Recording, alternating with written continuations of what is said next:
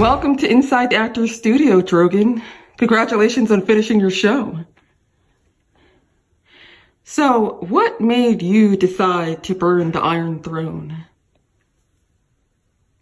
Well, uh, after seeing my mother get, well, not get killed, but after seeing my mother dead there, I just was really angry that all of this, all my brothers dying, everyone just dying was over this stupid throne with swords. And it was just, it was extremely frustrating to lose your mom over a throne. Oh, okay. That was quite the meltdown. I was very emotional. I had just lost my brother Rhaegal.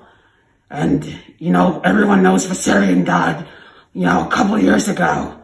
So I, I, I just, I couldn't take it anymore. I just, I couldn't see that throne. Okay. All right. It was a very emotional scene when you were checking to see if your mom was dead or alive. Um, viewers want to know, where did you take Daenerys' body? Well, I took mom back to where it all started.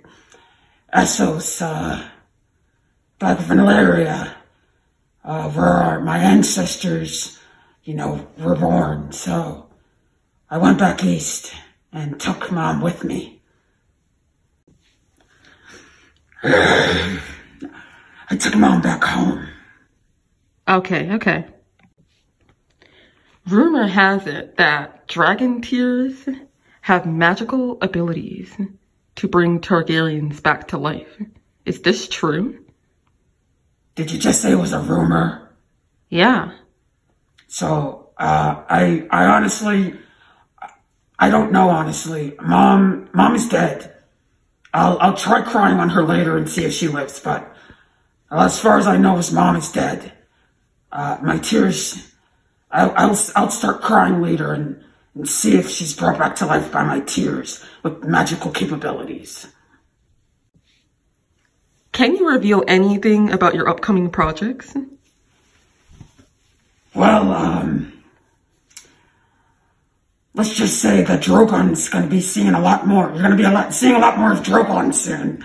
Um, HBO decided to make a Drogon spinoff. And, um, let's just say, uh, Daenerys, mom, long live the queen. So the show is going to be called Drogon? Yes, it's going to be called Drogon, and, uh, it's going to be fire. Okay, that's it? Yeah. Well, thank you for visiting our studio, Drogon. It was a pleasure watching you all these years. You were great.